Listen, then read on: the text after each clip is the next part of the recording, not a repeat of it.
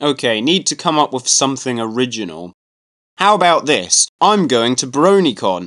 Or am I? Maybe I'm not going to BronyCon and I haven't just booked my hotel and my flight tickets and convention tickets, but if I had done those things I would be looking forward to seeing you all there, or at least those of you watching this who will be attending. And I would also be out of pocket quite a bit with having to travel all the way from the UK, so a bit of extra money would be handy. Speaking of which, if you want a personalised piece of music for your YouTube channel or project, I'm still offering commissions from as little as 8 US dollars. Links are on screen now for previously commissioned work as well as my full commission guidelines. In the meantime, I look forward to finally experiencing my first big convention.